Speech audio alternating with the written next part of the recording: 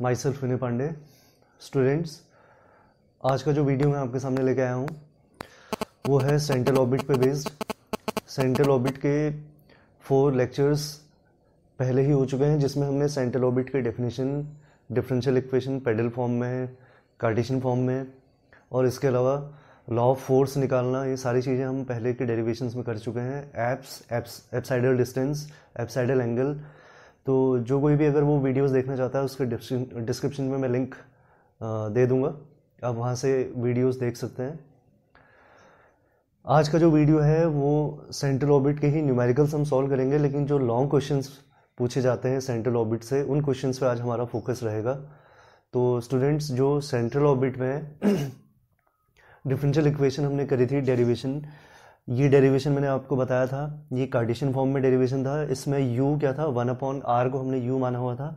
ये Cartesian equation थी, ये पेडल फॉर्म थी डिफरेंशियल इक्वेशन की किसकी? सेंट्रल ऑर्बिट की। ये दोनों डेरिवेशन हम कर चुके हैं पहले के वीडियोज़ में। और एक जो नया फॉर्मूला आपको यहाँ पे याद रखना है कि सेंट्रल ऑर्बिट में अगर किसी भी पर्टिकुलर पॉइंट पे आपको वेलोसिटी निकालनी है किसी पार्टिकल की, अगर वो सेंट्रल ऑर्बिट में है अगर सेंट्रल ऑर्बिट का पाथ कवर कर रहा है तो किसी पर्टिकुलर पॉइंट पे उस पार्टिकल की जो वेलोसिटी का फॉर्मूला है, वो है V square is equal to H square U square plus D U upon D theta square इसका डेरिवेशन हमने नहीं किया है डेरिवेशन इतना इंपॉर्टेंट भी नहीं है। तो ये आप फॉर्मूला याद कीजिए और इस फॉर्मूले का हम यूज़ करेंगे न्यूमेरिकल्स को सॉल्व करने पे। ये तीन फॉर्मूले हम यूज़ करेंगे यहाँ पे। जो पहला न्यूमेरिकल आज का है, वो क्या है, देखिए a particle moves under a force force ये दिया हुआ है and is projected from an apse at a distance A plus B with velocity root mu upon a plus b. Show that the equation of its path is R equals to A plus B cos theta ये सारी चीज़ें आप छोड़ दीजिए, पहले इस पर focus करिए, ये फोर्स है। और अगर आपने वो डेरिवेशन ध्यान से देखा है तो फोर्स को हमने किससे रिप्रेजेंट किया था? पी से। तो इसका मतलब is equal to mu three A U to the power four minus two A square minus B square into U to the power five अब ध्यान रखिएगा, जो रेक्टिलिनियर पोर्शन वाला चैप्टर मैंने आपको कराया था, उसमें भी हमने जो फोर्स की बात करी थी तो मास को हमने हटा दिया था। मास के अलावा जितने टर्म्स बच रहे थे, वही फोर्स कैलकुलेट करने में काम आएँगे। तो ये डिफरेंशियल इक्वेशन में हम इस पी की वैल्यू को रखते हैं। डिफरेंशियल इक्वेशन क्या थी? ऑफ़ सेंट्रल ऑर्बिट वो थी D square U upon D theta square plus U is equal to P P की जगह पे आ जाएगा। Mu three A U to the power four minus two A square minus B square U to the power five और upon में क्या है? H square H square को यहाँ क्रॉस मल्टीप्लाई कर लेते हैं।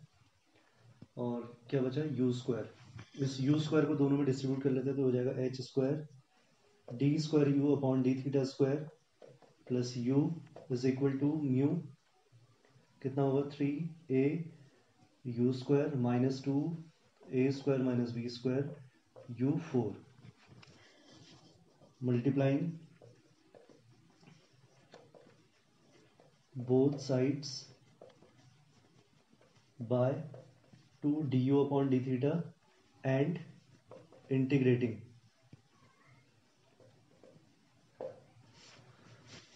ध्यान रखिए आप, मैं पहले जो हमको प्रूफ करना है वो रिज़ल्ट अलग से लिख दे रहा हूँ। हमको प्रूफ करना है R equal to A plus B cos theta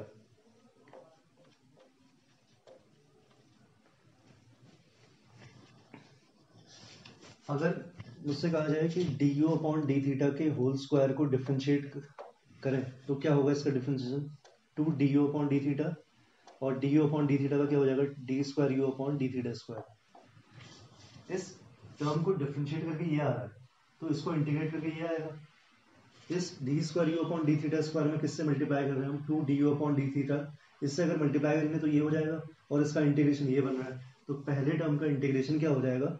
ये आगे के न्यूमेरिकल्स में भी आपको ध्यान रखना है और ऐसा ही हमने रेक्टिलिनियर मोशन में भी किया था।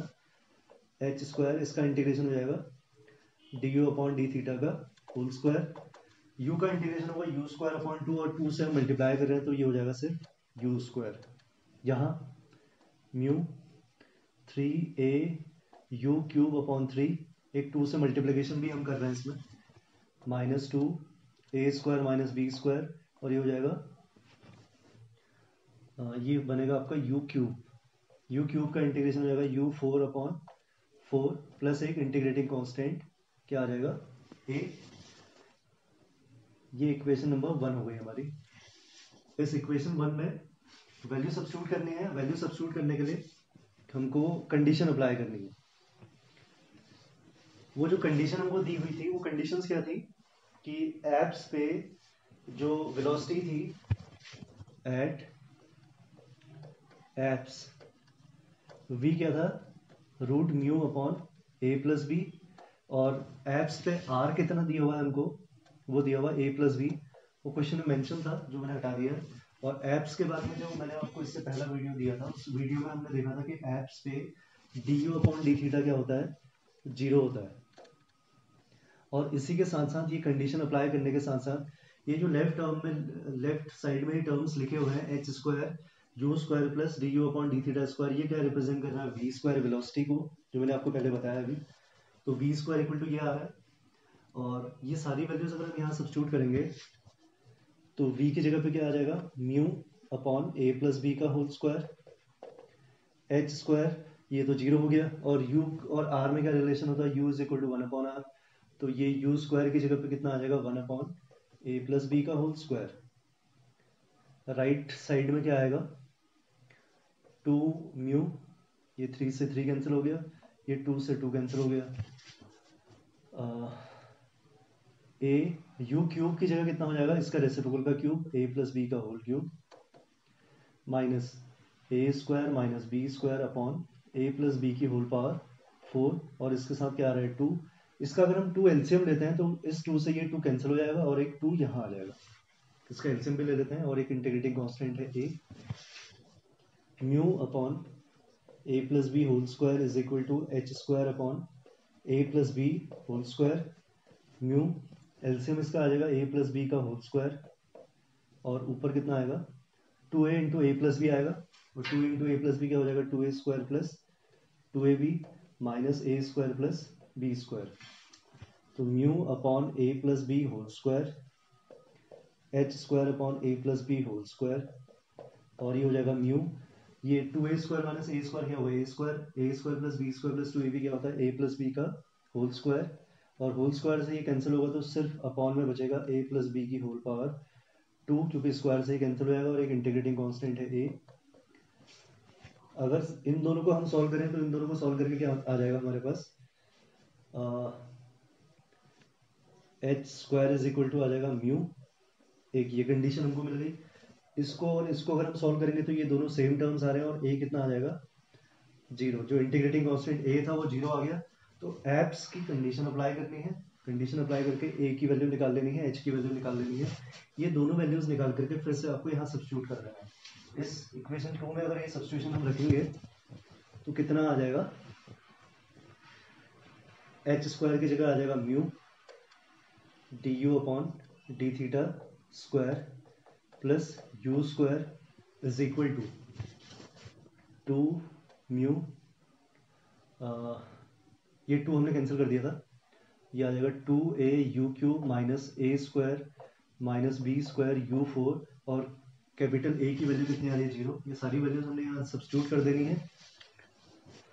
यू की वैल्यू क्या होती है? वन अपॉन आर स्क्वायर ये म्यू से म्यू भी कैंसिल हो जाएगा। D u upon d theta square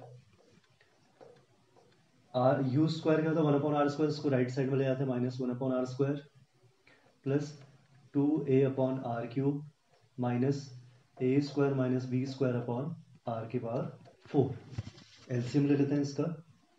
are के पावर फोर कितना हो जाएगा? Minus r square plus two a r minus a square plus b square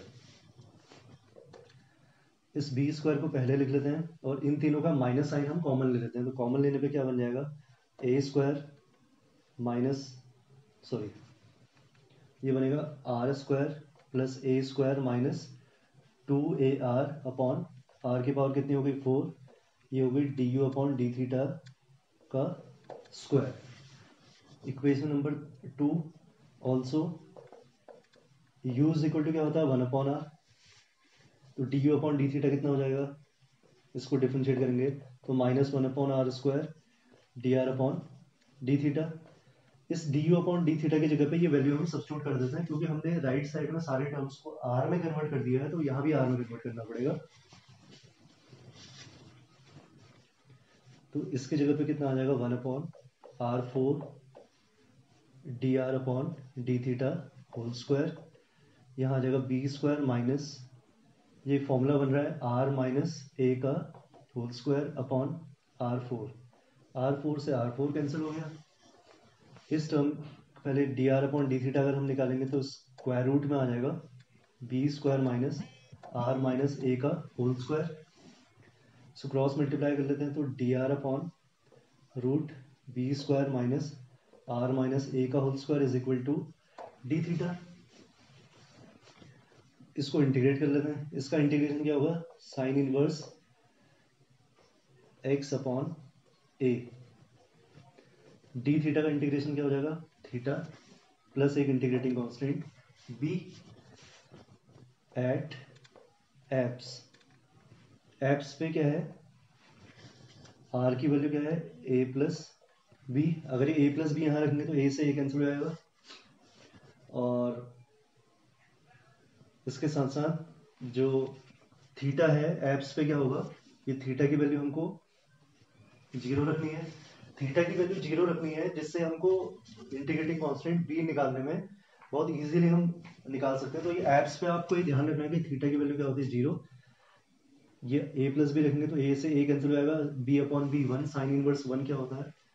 Five by two theta zero तो बी की वैल्यू कितनी आ गई? फाइव बाई टू ये बी की वैल्यू पाई बाई टू हम यहाँ पर रख लेते हैं इस इक्वेशन में। तो इक्वेशन क्या बन जाएगी? Sine inverse r minus a upon b theta plus b की जगह कितना आ गया? फाइव बाई टू इसको उधर लेके जाते हैं। R minus a upon b is equal to sine pi by two plus theta तो r minus a is equal to b sine ninety plus theta कितना होता है? कॉस थीटा तो आर इक्वल टू कितना हो गया? A plus b cos theta और question आपको याद होगा क्वेश्चन में हमने क्या प्रूव करना था? R equal to a plus b cos theta हमको प्रूव भी करना था और ये हमारा रिज़ल्ट हो गया। लॉन्ग क्वेश्चन में ऐसे क्वेश्चन पूछे जाते हैं। आपको डिफरेंशियल इक्वेशन का यूज़ करना है। जो फोर्स दिया है वो वैल्यू यहाँ रखनी है। वेलोसिटी निकालनी है। एप्स की कंडीशन लगा करके इंटीग्रेटिंग कॉन्स्टेंट निकालना है। फिर दोबारा से उसको इंटीग्रेट करके आपको उसका पाथ निकाल लेना है। इंटीग्रेटिंग कॉन्स्टेंट की कंडीशन आपको क्वेश्चन में दी होंगे कि आपको कैसे कंडीशन अप्लाई करनी है एप्स पे, जिससे आप इंटीग्रेटिंग कॉन्स्टेंट निकाल सको।